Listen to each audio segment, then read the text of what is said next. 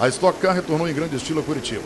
A nona rodada dupla da temporada, disputada na quinta tarde do último domingo, teve como vencedor da corrida de número 450 da principal categoria do automobilismo brasileiro, o jovem Felipe Fraga, que aumentou ainda mais a sua margem de segurança na liderança do campeonato. Na segunda bateria, deu Thiago Camilo, que largou lá do box para vir vencer a prova em grande estilo, passando ao Rubens Barrichello, faltando aí cerca de duas voltas para o final. Pole position e vitória de ponta a ponta. Foi uma prova dura, mas eu estou feliz por vencer a terceira consecutiva e muito agradecido à minha equipe por me dar um carro tão bom para vencer essa sequência. Quem falou foi o Felipe Fraga, que aumenta para 44 pontos a sua vantagem no campeonato sobre o vice-líder, o Rubens Barrichello. Realmente estou muito feliz ao mesmo tempo com o coração partido por ter anunciado uma outra equipe e deixando essa que sempre me acolheu como um membro da família. A minha primeira participação é, eu tinha aí como objetivo dar uma vitória para eles até o final do ano. Desabafou o Thiago Camilo, que venceu pela primeira vez nessa temporada. Felipe Fraga pôde comemorar sua quarta vitória na temporada e a terceira consecutiva. Ele venceu a Corrida do Milhão em Interlagos, a primeira bateria em Londrina e também a primeira na capital paranaense. A corrida foi bem difícil porque o pneu começou a desgastar bastante no final.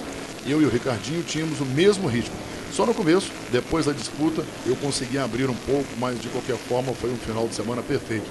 Afirmou o tocantinense de 21 anos e que reside em Curitiba. Ricardo Maurício tinha um ritmo bem parecido com o do Fraguinha e foi simplório quando questionado sobre o que faltou para concluir uma eventual vitória. Faltou talvez largar da pole. Muito legal. Alacondaí apareceu em um excelente terceiro lugar, né, o japonês voador, mandou muitíssimo bem. Seguido de Daniel Serra, Valdeno Brito, Júlio Campos, Lucas Foreste, Cacá Bueno, Tuca Rocha e Rafael Abate, fechando os 10 primeiros que largaram em ordem invertida para a segunda bateria mais curta e com 23 voltas de duração. Vale a pena a gente ressaltar que foi um corridaço de Curitiba, né?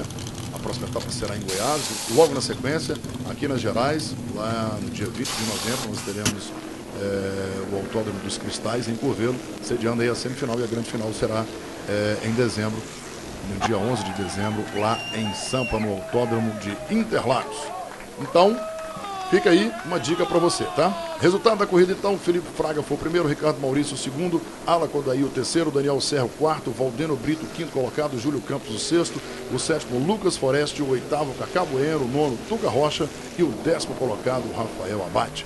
Foi mais uma da Stock Car aqui no nosso Velocidade Sem Limite. Dou um grande abraço aí para o nosso assessor de imprensa, o Eduardo Antoniali, gente da melhor qualidade, juntamente com toda a equipe assessoria da organização da nossa Vicar, que faz um belíssimo trabalho dentro desse evento aí do Stock Car e todos os eventos que compreendem a organização deles. Parabéns, nota dela.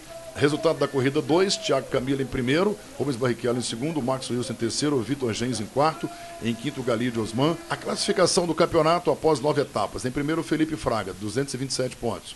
Em segundo, Rubens Barrichello, 183. Em terceiro, Valdeno Brito, 167. E em quarto, o Max Wilson com 148 pontos. Valeu, galera. Já foi.